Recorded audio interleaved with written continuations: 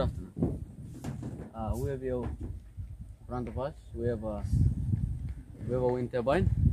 Uh, it was built by at least five to six boys, uh, students, along with uh, our chemistry teacher, Mr. Namui, and the school electrician. Uh, it took about at least a week to build this thing, and um, it cost nearly 200 kina to purchase the components of the circuit board down below. Um, my friends will come and explain more on the mechanical and electrical aspects for wind turbine. Okay, VFVI is the. You can see this one is the turbine. It is attached to a pulley where through a conveyor belt. The the, uh, the small pulley is attached to the shaft of the motor.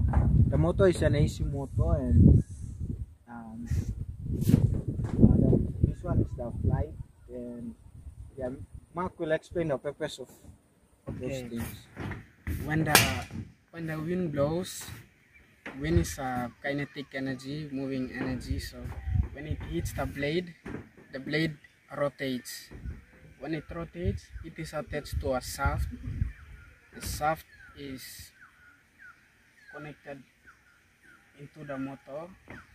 When the shaft spins it cuts the magnetic field inside the motor which produces electricity the electricity then travels through the wire and down into the circuit board. And Okay, as you heard um, out there, it's the generator, it's the uh, the wind turbine you can see up there. Okay, from the wind turbine we come to the diode. The current flows through to the diode prevents the electrons from going in the reverse direction. We direct them through the circuit to the controller.